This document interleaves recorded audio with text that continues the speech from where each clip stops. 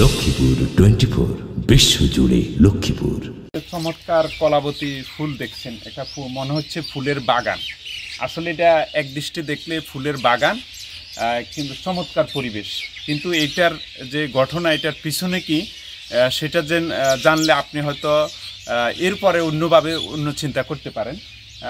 এখানে আসলে একটা বিশাল ময়লার প্রসেসিং হচ্ছে এবং হিউম্যান ডাস্ট অর্থাৎ মানব বর্জ্য যেটা মানুষের বর্জ্য এখানে কিন্তু প্রক্রিয়া করা হচ্ছে। সেই প্রক্রিয়াটা আমরা এই মুহূর্তে রয়েছি লক্ষ্মীপুর পৌরসভার চার নং ওয়ার্ডের ডাম্পিং স্টেশন অর্থাৎ লক্ষ্মীপুর পৌরসভার যে পুরো পৌরসভা রয়েছে পৌরসভার যে ময়লা ব্যবস্থাপনা রয়েছে ডাম্পিং স্টেশন যেটাকে বলে সেটার একটা সেকশন হচ্ছে হিউম্যান বর্জ্য ব্যবস্থাপনা। এই অর্থাৎ মানবসৃষ্ট বর্জ্য ব্যবস্থাপনার উপরেই কিন্তু আমরা আপনারা এই ফুলগুলা দেখতে পাচ্ছেন। আপনাদের কাছকে আমরা সেই বিষয়টাই পুরোপুরি দেখাচ্ছি। যে ময়লাগুলো আসে এই ময়লাগুলো দিতে হাউজ ভালো হলো হালাইলে ফাইভ দিয়ে ময়লাগুলা এই হাউজে হরে পড়লে এখানে যে কলাপতি গাছগুলো আছে না ওগুলো সার হয়। সারতে লাস্ট পর্যন্ত একটা জৈব সার বানা হবে। যে পানিগুলো, একদম পানিগুলো, এই পাইপেতে যায় হাউজ হয়, এই হাউজ থেকে পাইপেতে যায় ডাইরেক্ট খালাতে হবে আমরা এখানে যে বৃদ্ধ লোকটিকে দেখেছি, ইনি লক্ষ্মীপুর পৌরসভার ডাম্পিং স্টেশনের দেখাশোনা করছেন। ইনি আপনাদেরকে জানাচ্ছেন যে লক্ষ্মীপুর পৌরসভার যে সকল বর্জ্য রয়েছে, বিশেষ করে হিউম্যান ডাস্ট বা মানব বর্জ্য, সেগুলো এনে, গাড়িতে করে এনে এই এখানকার হোলে বা গর্তে পালানো হয়। এখান থেকে পানি অপসারণ হয়ে এই গর্তে চলে আসে, তারপরে এখান থেকে সরাসরি এই ফাঁসে খাল রয়েছে, পানিগুলো সেই খালে চলে যায়।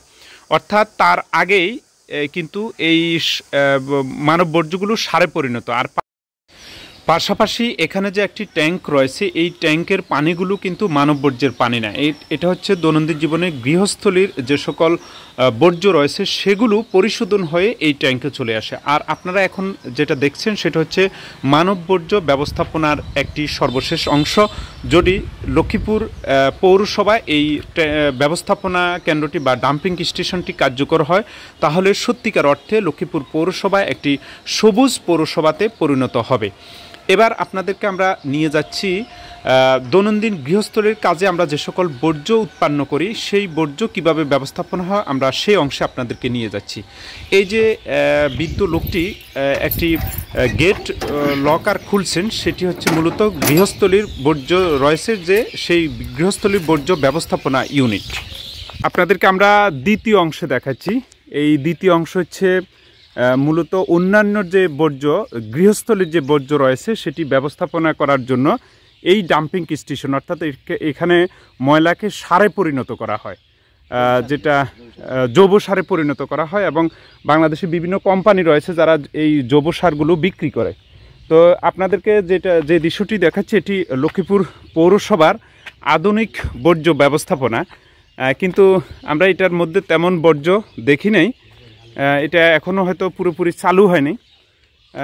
বর্জ্য ব্যবস্থাপনার কাজে যে ইয়েটি রয়েছে, এটি চমৎকার একটা পরিবেশ এবং চমৎকার চতুর্দিকে সুরক্ষিত।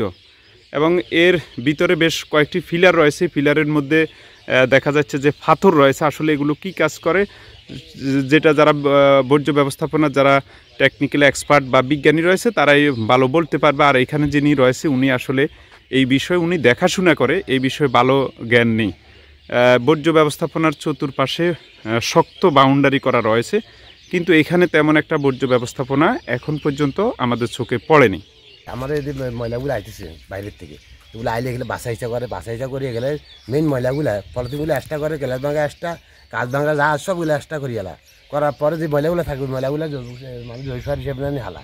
হালাই এক ফুট হালাই এর ফুট দিই এটা সাবা দিত। সাবা দিলে এটা সার হিসেবে প্রতি এক ফুট পর পর বালু দিত। এক ফুট পর পর বালু দেয়।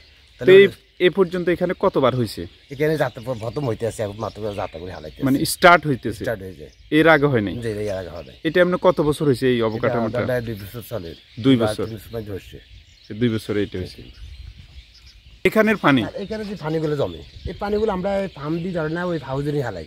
সেই হাউজ থেকে আমরা ওয়াশ করি আর একটা বাইরে একটা হাউস আছে ওইটাখানে ওয়াশ হয়। এখান থেকে আবার আর একটা পুকুরে যা ওয়াশে পরে সেই পুকুরতে একদম পানিগুলা ফেনাগুলো তো খালে যা। মানে কোনো কাজ কাজটা মানে যেতে পারে না। মানে ওয়াশের পরে যে হেনাগুলো যেতেছে।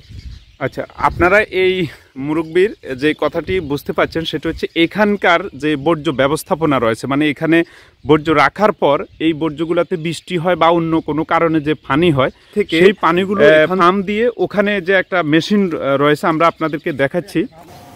ওখানে পাম্প রয়েছে। ওখান থেকে ওই পাম্প স্টেশনে যায় এবং ওখানে ওয়াশ হয় পানিগুলা ওয়াশ হওয়ার পরে এগুলা পরবর্তীতে খালে চলে যাচ্ছে। এ হচ্ছে লক্ষ্মীপুর পৌরসভার ডাম্পিং স্টেশনের বর্জ্য ব্যবস্থাপনার প্রক্রিয়া যেটা পুরো, পুরোপুরি চালু হলে এই জেলাবাসী হয়তো সুফল পাবে। মানে এখান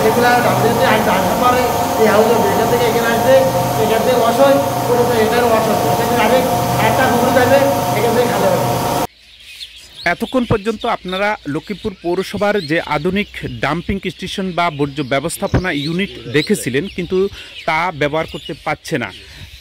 এই ইউনিটটি থাকা সত্ত্বেও লক্ষ্মীপুর পৌরসভা এখানে সেখানে ময়লা আবর্জনা ফেলছে বলে নাগরিকদের পক্ষ থেকে অভিযোগ রয়েছে। এই বিষয়টি আমরা যখন জানতে চেয়েছি, তখন লক্ষ্মীপুর পৌরসভার বর্জ্য ব্যবস্থাপনা বিভাগের কর্মকর্তা আমাদেরকে জানিয়েছে, দাতা সংস্থার পক্ষ থেকে একটি শর্ত ছিল, এই ডাম্পিং স্টেশনের বাইরে বিশাল অংশ জুড়ে যে বর্জ্য রয়েছে, সেগুলো যতক্ষণ পর্যন্ত অপসারণ না করবে পৌর কর্তৃপক্ষ, ততক্ষণ পর্যন্ত দাতা সংস্থার পক্ষ থেকে এই ডাম্পিং স্টেশনটি চালু করা হবে না। অন্যদিকে লক্ষ্মীপুর পৌরসভা এখন এই আবর্জনাগুলো এখান থেকে অপসারণ করার জন্য চেষ্টা করছে বলে লক্ষ্মীপুর পৌর কর্তৃপক্ষের পক্ষ থেকে আমাদেরকে জানানো হয়েছে।